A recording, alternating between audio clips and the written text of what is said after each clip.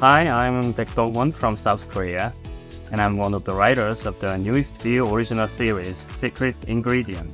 I heard K-drama is huge throughout the world, including the Southeast Asian countries. So my first challenge was to keep the expected tone and voice as a K-drama with the Filipino and the Indonesian characters.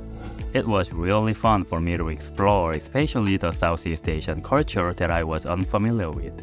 I had to learn more about it so that I could use it as the ingredient to the story.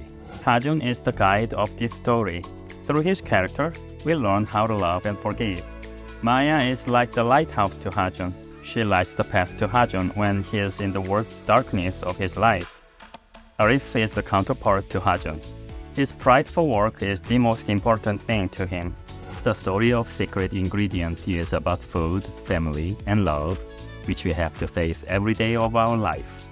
People would not just watch the yummy food, but they would learn how to forgive and love and cherish their life more.